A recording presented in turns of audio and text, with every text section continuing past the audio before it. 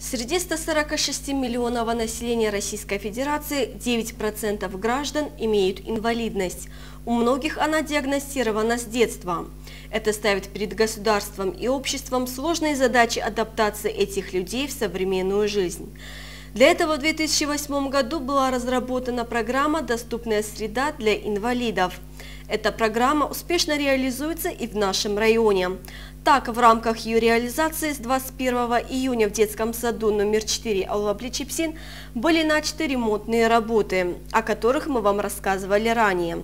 Были запланированы следующие виды работ. Замена нескольких дверей, укладка плитки, оборудование кабинета, пантуса, санузла для детей-инвалидов. Подробнее об этом нам рассказала заведующая детским садом Дахабын. В течение какого времени был сделан ремонт?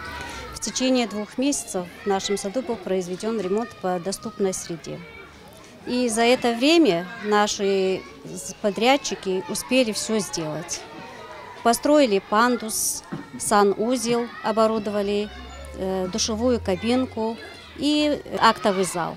Что еще планируется сделать? Какие работы остались? Мы заключили контракты э, с отличником Краснодаре, и они должны привести нам оборудование и оборудовать наши кабинеты для детей инвалидов. Какого времени это предстоит сделать? Ну, в течение уже двух недель они должны привести все.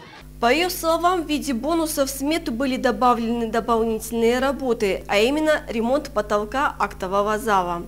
Также в актовом зале освежили стены, уложили новый линолеум. Двор, в котором дети проводят немалую часть времени, также был обновлен.